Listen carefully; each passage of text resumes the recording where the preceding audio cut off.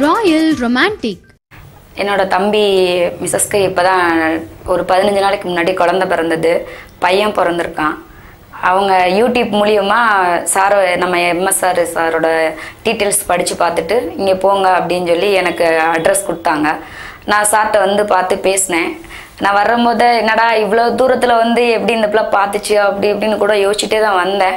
ஆனால் சார் வந்து பார்த்ததுக்கு அப்புறம் தான் தெரிஞ்சிச்சு நம்மளும் நம்ம பையனுக்கு இங்கே வந்து பண்ணாமல் விட்டுட்டோமே அப்படின்னு சொல்லி ஒரு ரொம்ப ஃபீலிங்ஸாக இருக்குது இப்போ மறுபடியும் நான் என்னோடய பையனுக்காக கேட்டேன். அவர் சார் சொன்னதை பார்த்தா எனக்கே ச்சே நம்ம இப்படிலாம் போயிட்டு இவ்வளோ தெரிஞ்சும் நம்ம தப்பு பண்ணிட்டோமோ? அப்படின்னு எனக்குள்ள ஒரு பெரிய குற்றம் வந்துட்டுருக்கு மனசில்.